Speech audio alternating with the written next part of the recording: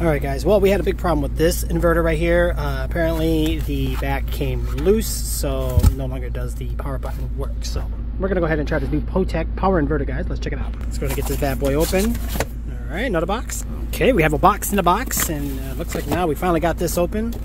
Looks like it comes with a major big giant piece here, guys. We got two uh, AC outlets, two USBs. Uh, it looks like it's going to give us an input, output, and an output in wattage. Uh, 750 watts, guys. Hold on. Looks like it comes with a couple adapters here. You got the regular uh, car battery adapter here for higher, or um, sorry, car charging outlet, and then you have the one you can plug directly into the battery. Looks like give us some extra fuses just in case, which is nice. All right, we're gonna go ahead and grab this bad boy, plug it in here, which is a 12 volt, 180 watts. So let's plug that in.